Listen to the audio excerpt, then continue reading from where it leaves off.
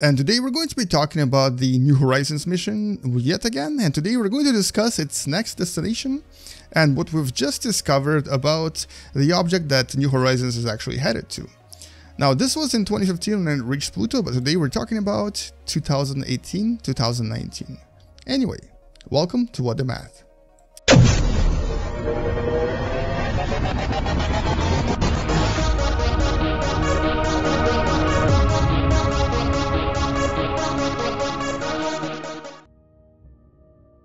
So you may still remember when in 2015 uh, New Horizons passed by Pluto and then pretty much spent the uh, rest of the year plus a few more months, as a matter of fact 16 months in total, transmitting data from this particular um, encounter and basically telling us about Pluto, showing us these incredible pictures that we have today, and um, redefining our understanding of this beautiful dwarf planet.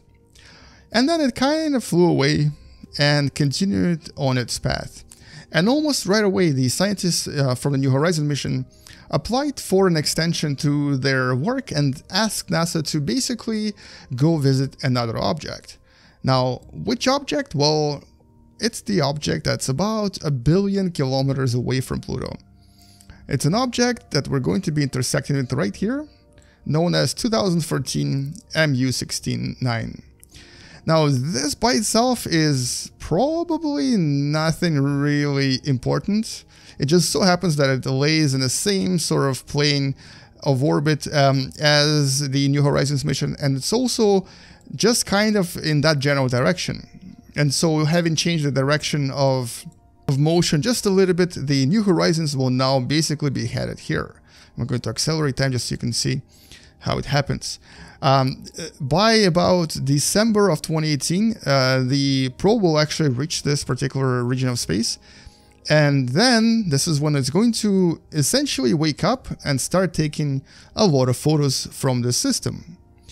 Now, there is a little bit of news about this particular region of space though, as we've been kind of trying to capture at least something from this super far region. Now, because this object is really small, it's not actually that big to begin with. Approximately 30 kilometers in diameter, um, it basically kind of corresponds to a relatively large asteroid.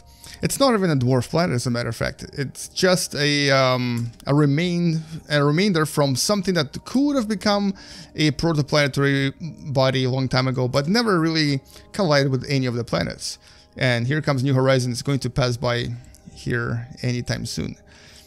So the interesting thing about this particular encounter is that, well, first of all, we just discovered that it's very likely that uh, 2014 MU69 has at least one and possibly even more than one moon.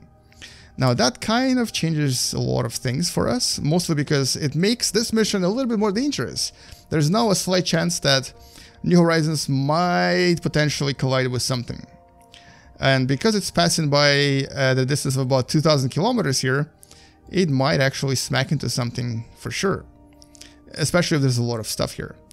The moon was discovered um, was discovered completely by accident. We weren't even looking for the moon. As a matter of fact, we were looking for this object. And how we look for this object and how we actually try to see it is really, really cool. And I actually wanted to tell you about this a little bit. So let's go back to Earth for a second. I'm going to try to demonstrate this to you. Uh, so we're going to go to our planet Earth. That's going to be really, really, really super far away. There we are. Now we're looking into the sky right there and we're trying to see 2014 MU69. It is only 30 kilometers across. The distance is ridiculous. Like this is about 45 astronomical units away from us, or if you want this in kilometers, it's this number right here. So it's really, really, really far. Um, and to see this object, we can really only do one thing, at least at the moment. We can try to look at those distant stars that you see on the screen. And as 2014 MU69 passes in front of those stars, we can see what's known as the occultation. Now, an example of occultation would be this right now. So if I were to pass in front of the sun, I'm blocking the sun with my Earth. And we're looking for those occultations, um, but for an object that's ridiculously small, so small that it's just it's like looking for a tiny pebble uh, from a distance of hundreds and hundreds of kilometers.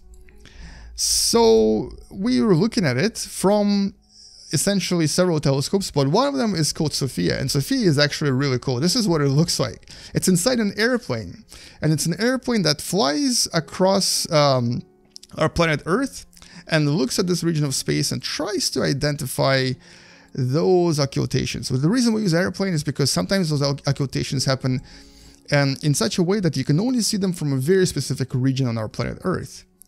And when this one happened, it, it, could only be seen from a certain region in the Pacific Ocean. So that's why they had to use the airplane. And they've looked at it several times, and then they saw a tiny passage of something in front of the star. But it was too small. It was way too small to be this, because we know this is about 30 kilometers, and what they saw was only about uh, 5 kilometers. And they realized it must have been a moon. And the reason why it made more sense for this to be a moon is because the mathematical prediction for where uh, 2014 Mu 69 should be was always kind of wrong, as if something was shifting it around.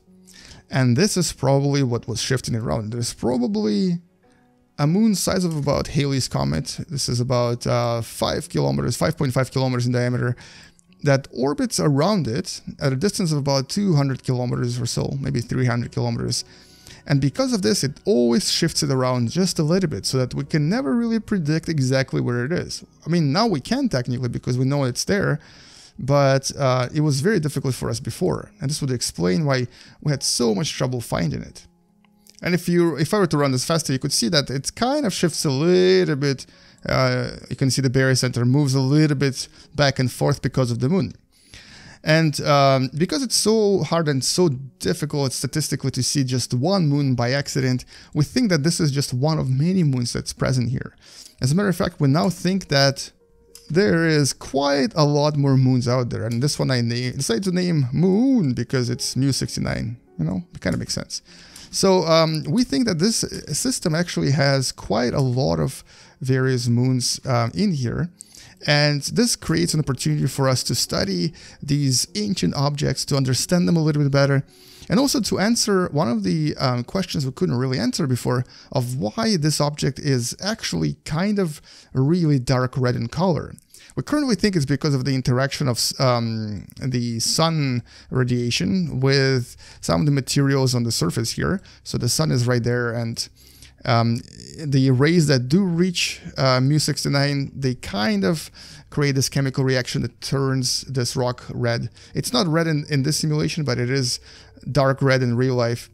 Uh, but um, by getting here with New Horizons and by studying this in more detail, we'll be able to understand it a lot more. Although since this is so far away from Earth, a single signal from New Horizons would actually take about 12 hours to reach Earth.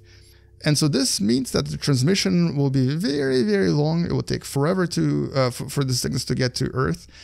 And most importantly, uh, because the um, the signal from here is very weak, it will probably take up to two years for us to get all of the data. So the New Horizons will actually pass by the system, uh, take a lot of pictures, and then start transmitting them right away. Now, what happens after this, we don't really know. We don't really know if there's anything else on the way uh, to where New Horizons is headed. But we know that the New Horizons is going to be escaping our solar system just like the Voyager probes, and it's going to be um, still operative until about 2030 or even 2040. So if there's anything else we discover that's going to be on this pathway, we might be able to take photos of those objects as well. Well, for now, that's all we know about um, this unusual, strange object known as 2014 uh, Mu 69, and we now know that it has at least one moon. At least almost certainly because otherwise, why else would it be hiding from us so well? Well, anyway, thank you so much for watching. Hopefully you learned something from this video and hopefully now you know a little bit more about our solar system and about this unusual mission of New Horizons that started decades ago and is going to go on for another few decades. I'll see you guys tomorrow. Space out. And as always, bye-bye. And I'm going to just explode a few objects right there and let's see what happens to our solar system.